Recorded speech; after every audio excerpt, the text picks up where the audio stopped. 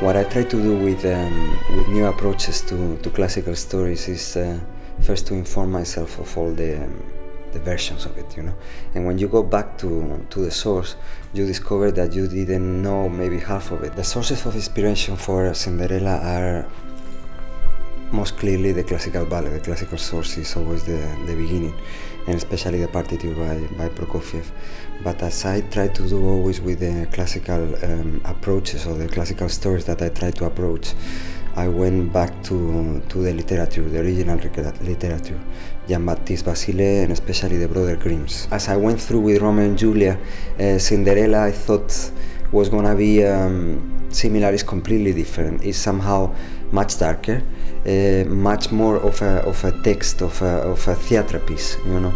And um, I think the darkness is so much into the into the into the score that is basically um, the problem is how to keep up with this uh, dramatism, how to be truth to this uh, this sarcastic way of seeing life and seeing characters, you know.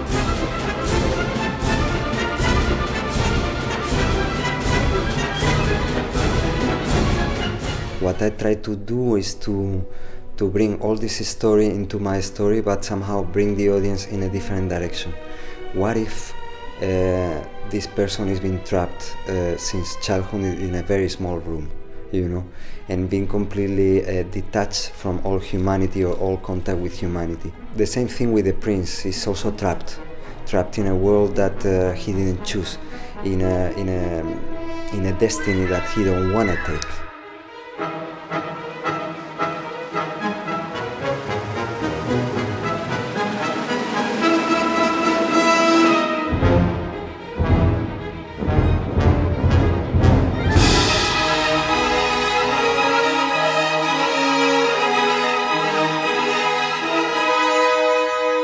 Try to picture myself always as an audience and when I go to a classical story and I go and, and I, I know how it starts, I know how it ends, what if uh, I start to see different things that are connected with the story and that brings me in different directions.